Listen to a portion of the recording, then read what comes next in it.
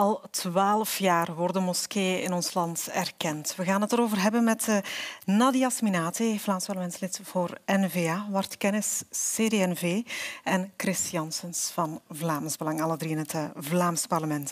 Mevrouw Sminate, er was dus uh, discussie deze week over de erkenning van 20 moskeeën, die nu die aanvraag is lopende. Ze hadden positief advies gekregen van de minister van Justitie, maar minister Holmans had daar vraagtekens bij. Wat is er juist aan de hand? Wel, als u mij nu vraagt of er uh, morgen twintig nieuwe erkenningen zitten aan te komen, dan zeg ik daar duidelijk nee op. Dat is op dit moment zeker niet aan de orde. Er zijn een aantal voorwaarden verbonden aan zo'n erkenning. En een van die voorwaarden is veiligheid in mijn ogen om evidente redenen ook de belangrijkste voorwaarde. De minister van Justitie heeft uh, heel recent trouwens uh, positief advies gegeven voor twintig van die moskeeën, maar we hebben op dit moment geen flauw idee waarop dat advies gebaseerd is, omdat we geen inzage krijgen in die dossiers.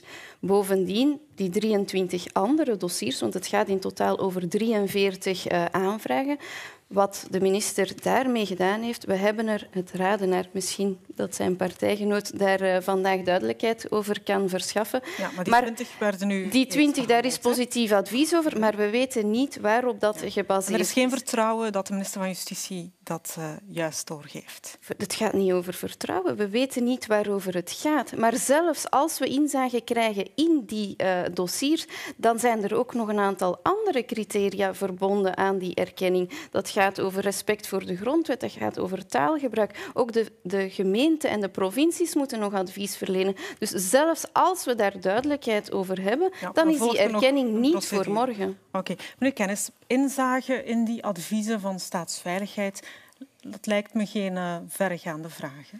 Ik denk dat dat ook uh, geen vergaande vraag is. En de minister, uh, minister van Justitie, Koen Geens, heeft een brief geschreven naar zijn collega Lisbeth Homans om haar te zeggen, als u meer inzage wil, dan uh, bent u welkom om dat met de staatsveiligheid te bespreken. Dus die brief die is vertrokken, heeft dat ook donderdag in het parlement gezegd, dat daar op zich geen probleem is.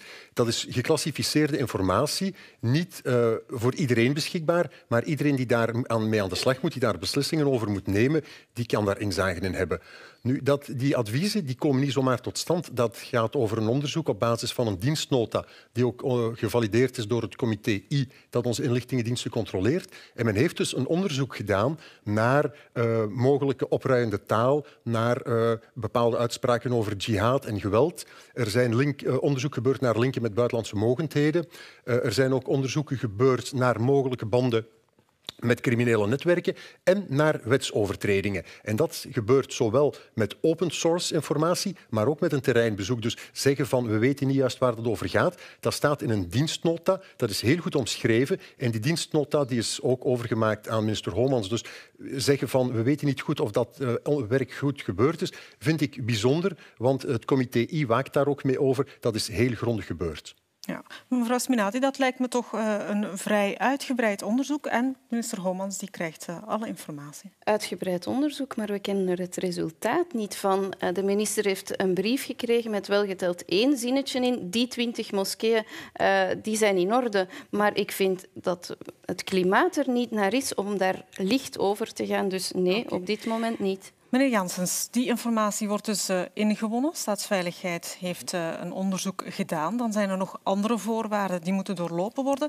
En dan volgt de erkenning. Maar uw partij zegt stop daarmee. We zeggen inderdaad stop daarmee. En eh, minister Homans zegt nu eigenlijk, ja, Geert Bourgeois is in het verleden veel te laks geweest, want hij was in de vorige bestuursperiode bevoegd voor de erkenning van de moskee. Hij heeft de meeste moskeeën die nu erkend zijn, dat is bij Geert Bourgeois gepasseerd. En hij vroeg toen helemaal geen inzage in dossiers van de staatsveiligheid. Hij vroeg een advies aan de minister van Justitie en dan ging hij daarmee verder. Ja, maar... maar... het echte probleem is, ja, de N-VA hinkt op twee gedachten natuurlijk. Ze wil enerzijds moskeeën erkennen. Ze heeft er trouwens een akkoord over gesloten met de coalitiepartners. Minister Homans heeft zelf de procedure in gang gezet om 43 moskeeën bijkomend te gaan erkennen. Maar anderzijds weet zij dat haar kiezers daar helemaal niet van willen weten. En dus mijn oproep aan de N-VA is heb de moed van uw overtuiging en zeg wij gaan geen moskeeën meer erkennen en subsidiëren, want wij willen Vlaanderen niet verder islamiseren. Ja, mevrouw Sminate, welke boodschap wil uw partij geven? Want die wordt hier geïnterpreteerd. Hè? Wel, ik heb heel veel begrip voor het feit dat er uh, in onze samenleving, samenleving, heel veel angst is voor alles wat met de islam te maken heeft. Om evidente redenen. De aanslagen van uh, het afgelopen jaar zijn daar het bewijs van. Maar um, ik vind wel dat we, dat we daar rekening mee moeten houden met het feit dat mensen daar op dit moment niet op zitten te wachten. Maar langs de andere kant zeggen van uh, we moeten het recht op uh, godsdienstvrijheid afschaffen, dat gaat voor mij ook veel te ver. Daar staat dus... er helemaal los van. Iedereen mag bij zijn thuis, mag in zijn privé zijn eigen godsdienst beleven, maar u heeft zelf in uw voorstel van resolutie dat u in het parlement heeft ingediend als voorzitter van de commissie radicalisering, heeft u gezegd wij moeten meer moskeeën erkennen. Dus nu houdt u een of andere schijnhouding. U doet alsof u een beetje kritisch bent, maar u hebt een politiek akkoord gesloten met CD&V, met VLD, dat zeggen zij zelf, om tegen 2019 80 extra moskeeën te gaan erkennen. En mijn vraag aan u is, hoe verantwoordt dat hoe verantwoordt u dat in hemelsnaam aan uw kiezers die daar helemaal niet van willen weten? Maar het omgekeerde, het omgekeerde. U zegt weg met de islam. Dat, dat is uw oplossing. Maar het recht op godsdienstvrijheid die bestaat vandaag. Hoe gaat u het oplossen? Er zijn vandaag in ons land honderdduizenden moslims, gezinnen met kinderen. Wat gaat u daarmee doen? U kan blijven de kop in het zand steken, maar wat is uw oplossing? Mijn oplossing is, mevrouw Sminati, dat net zoals voor hindoes en voor boeddhisten, die wiens religie niet erkend is in België, maar wel op een vrije manier hun godsdienst kunnen beleven. Ik zeg, moslims mogen bidden, mogen de ramadan beleven, maar het intolerante, het vrouwonvriendelijke karakter van de islam, dat moeten wij hier als overheid in Vlaanderen niet erkennen en zeker niet subsidiëren. Er is de voorbije jaren al meer dan 5 miljoen euro naar de subsidiëring van moskeeën gegaan. Dat is er waarom, heel ver waarom is dat nodig, die erkenning heel, heel en die werk gedaan in het kader van de radicalisering, vooral de gewelddadige radicalisering. En we hebben 55 aanbevelingen geformuleerd en twee daarvan gaan over de moskeeën. Er wordt gezegd, die moeten, er moeten er erkend worden om op die manier de financiering van het salafistische golfstaten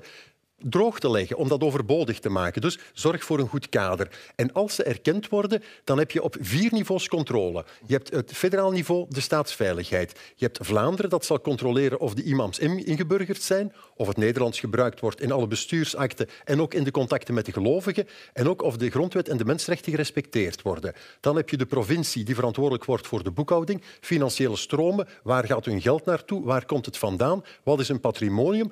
En er is ook een advies van de lokale overheid? Zijn ze ingebed in het sociale weefsel? Is het brandveilig? Is het in orde met de ruimtelijke ordening? Daardoor creëren we op vier niveaus een duidelijke controle. En dan is het ook logisch als je voldoet aan die toch wel zeer, zeer strenge voorwaarden die in Vlaanderen gelden voor de erkenning van moskeeën. Als je voldoet en je wil het spel meespelen, dan moet je ook zeggen, dan mag je het spel meespelen zoals alle andere erediensten in dit land. Dan moet er, eh, als je je onderwerpt aan die voorwaarden en je speelt het spel mee, moet je ook toegelaten worden. Meneer Kennis, weet u waar de meerderheid van de financiering van de moskeeën naar, naartoe gaat? Naar Turkse Dianet-moskeeën. Meer dan 60 procent van de moskeesubsidiering gaat naar moskeeën die eigendom zijn van de Turkse staat, waar de Turkse staat de imam aanstelt en die zelfs na vier jaar vervangen moet worden, zodat hij hier zeker niet zou integreren. Dat is dus het belastinggeld, Vlaams belastinggeld, waar dat naartoe gaat. Terwijl Turkije een regime is waar de mensenrechten aan de lopende band geschonden worden, gaan wij hier de moskeeën van dat systeem in Vlaanderen niet alleen erkennen, maar ook nog eens subsidiëren. En de controle die is zo lek als een zeef. Er is de voorbije maanden gebleken dat in die Dionet-moskeeën dat daar gespioneerd wordt voor Erdogan, dat tegenstanders van het Erdogan-regime worden aangemeld in Turkije. Dus waar, van die controle, waar was die controle toen? Waar was de controle? gebeurt er voldoende controle en komt dat geld wel bij de juiste instellingen terecht? Kijk, ik vind dat we de juiste strijd moeten aangaan. Er is geen probleem met de islam, er is een probleem binnen de islam, met bepaalde stromen extreme stromen binnen de islam. Het salafisme is daar één van. Maar wij gaan die strijd ook aan. Het zijn onze F-16's die vandaag in Irak zijn. Het zijn onze special forces die vandaag op het terrein zijn. Het is Theo Franken die ervoor zorgt dat er geen enkele imam meer een visum krijgt om in niet erkende moskeeën te gaan, te gaan werken. Dus wij gaan die strijd aan. U blijft hier slogans roepen, u doet juist niks. Mevrouw Sminette, de is Theo Franke die aan de lopende band moslims ons land binnenlaat omdat de grenzen openstaan. Ja, dat waar is was een ander debat. Waar, dat is een ander debat, maar waar was de controle toen de imam van de erkende moskee De Koepel in Borgerhout, moskee erkend door uw partijgenoot Geert Bourgeois, die trok zelf naar Syrië om daar de jihad te gaan strijden. Waar was toen in hemelsnaam de controle? Als men in Vlaanderen de de, de islam en de moskeeën blijft zaaien, dan gaat men alleen maar... Maar dat is net de reden waarom minister Homans nog geen enkele erkenning heeft gedaan, omdat wij net pleiten om die veiligheid te gaan verhogen in de moskee. Dat is de reden waarom... Niet door elkaar, niet door elkaar. Meneer Kennis, en dan kom ik bij meneer Jansen. Meneer Kennis. Nee, nee het, daar, daar wil ik wel heel duidelijk in zijn. Het is de moslim-executieve die die procedure heeft opgestart, niet minister Meneer Kennis. Dames en heren, we luisteren naar elkaar. 20 moskeeën erkend. Er zijn er veel meer uh, operationeel. Dus er is een hele grote kloof. En we hebben, omwille van veiligheidsredenen en controle is het belangrijk dat er meer erkend zou worden. Omdat ik heb ze opgesomd. Er zijn heel wat controlemechanismen die daarmee gepaard gaan. U verwijst naar Dianet en mogelijke inmenging in uh, uh, politieke beïnvloeding enzovoort. Daarover hebben we in het parlement alle partijen, niet alleen de uwe, maar ook de onze, heel duidelijk standpunt ingenomen. Wij dulden geen inmenging van buitenlandse mogendheden in de moskeeën. Ik heb begrepen dat minister Romans ook de Turkse ambassadeur daarvoor bij haar geroepen heeft. Ik heb begrepen dat er ook dat verder onderzoeken lopen. Dus dat is inderdaad een, maand geleden. Hoeveel erkenningen zijn er al ingetrokken intussen? Nul. Nada. Ja. Zoals altijd, woorden zonder daden. Meneer Janssens, niet correct. Die erkenning zorgt voor controle, zorgt voor verbondenheid, zorgt ervoor dat we weten wat er in die moskee gebeurt en wie daar werkt. Wat zegt u dan? Laat ze maar doen, laat het geld maar komen van waar het wil, laat iedereen maar een moskee opzetten. De overheid moet dat helemaal loslaten. Ik zeg dat, men dat kan maar, verkeerd aflopen. Ik zeg alleen maar dat men de illusie van controle heeft. Men weet niet wat er in die moskeeën gebeurt, nog in de erkende, nog in de niet erkende. En trouwens, ook in de erkende moskeeën wordt de leer van de islam gepredikt die haak staat op onze democratische waarden, die haak staat op heel wat fundamenten van onze rechtsstaat. En mijn voorstel is, de staatsveiligheid kan het niet aan. Zij moeten honderden potentiële terroristen in dit land opvolgen. Ze hebben niet de mensen, niet de middelen om een degelijke controle op de moskeeën uit te oefenen. Dus stel ik voor, de Vlaamse regering moet zelf een controleorgaan in het leven roepen om niet alleen de erkende, maar ook de niet erkende uh, moskeeën te monitoren op elementen van radicalisering en extremisme en dan ook wel degelijk een dienermankement te worden vastgesteld die moskeeën sluiten en de imams het land uitwijzen. Concreet voorstel, Vlaamse controle. Er, er, is een Vlaamse controle in de zin van dat iedereen zijn werk moet doen en dat de minister uiteindelijk al die zaken samenlegt en dan een beslissing neemt. De minister moet de eindbeslissing nemen, maar de staatsveiligheid doet een hele grondige controle. Ik ga ervan uit dat de gemeentebesturen, uh, ook met de gemeenteraad, het is ook de, het is ook de meerderheid en oppositie die dan advies kunnen geven. Het is de gemeenteraad die het advies moet geven.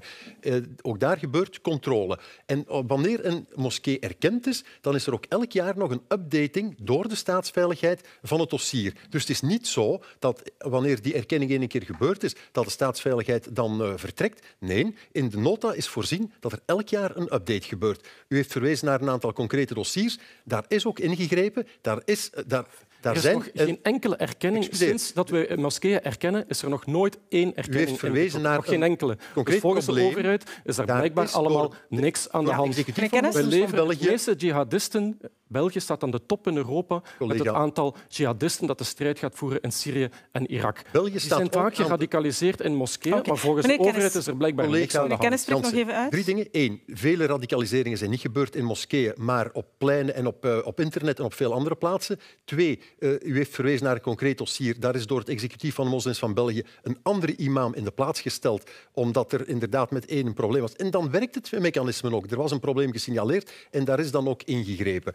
En drie, ik denk dat we, eh, als iedereen zijn werk doet, eh, lokaal, federaal en Vlaams, dat we dan een goed mechanisme hebben en dat we ook komen tot een goede maatregel. Moslimfanatici lachen zich een breuk als zij dergelijke naïeve praat horen over een gematigde islam en we hebben controle en dergelijke meer. Er is er hier in Vlaanderen helemaal geen Ja.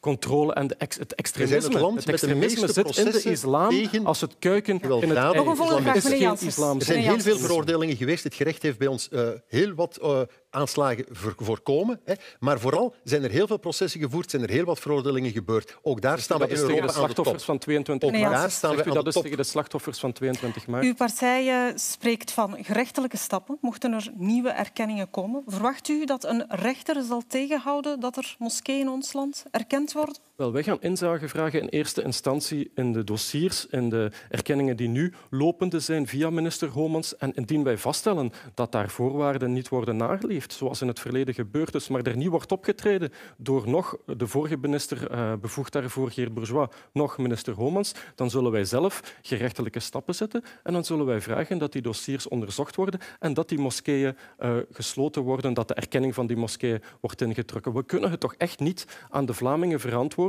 dat 13 van de 28 moskeeën die erkend zijn in Vlaanderen behoren aan de Turkse staat, een regime dat de, man, dat de mensenrechten schendt en dat die moskeeën hier in Vlaanderen erkend en gesubsidieerd ja, worden. Wij zeggen, de... al die erkenningen van Dianet-moskeeën moeten ja. ingetrokken worden. Maar als er aan de voorwaarden wel voldaan wordt, dan zullen gerechtelijke stappen daar niets aan veranderen. Wel, een van de voorwaarden is dat iedereen die in de moskee actief is, of dat de moskee als dusdanig de grondwet moet naleven en het EVRM, de mensenrechten, moet naleven. Wel, het is toch wel heel duidelijk dat die mensenrechten in Turkije niet nageleefd worden en dat dus de moskeeën die behoren aan de Turkse staat, dat die hier niet erkend en zeker niet met belastinggeld gesubsidieerd mogen worden. Zeker niet als we weten dat heel veel mensen de rekeningen niet meer kunnen betalen, de eindjes niet meer aan elkaar kunnen knopen en tegelijkertijd gaan wij geld aan de Tot islam besteden. Mevrouw Sminati, er loopt nu dus uh, die, uh, dat onderzoek naar die 20 moskeeën. Als minister Homans alle informatie heeft, als er ook de verdere onderzoeken gebeuren, dan kunnen er erkenningen bijkomen.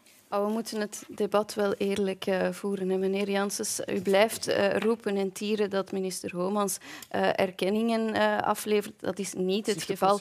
Omwille van het feit dat wij zeggen dat we op veiligheid met geen millimeter mogen toegeven. Dus ik ben zelf coole minnaar van die erkenningen, omdat ik denk dat imams misschien wel kunnen werken aan de positieve identiteitsontwikkeling van jongeren, maar ik geloof niet dat die erkende moskeeën ervoor gaan zorgen dat er geen radicalisering meer in dus ons hoor ik u dan zeggen dat als het aan u ligt, er geen erkenningen hoeven te komen?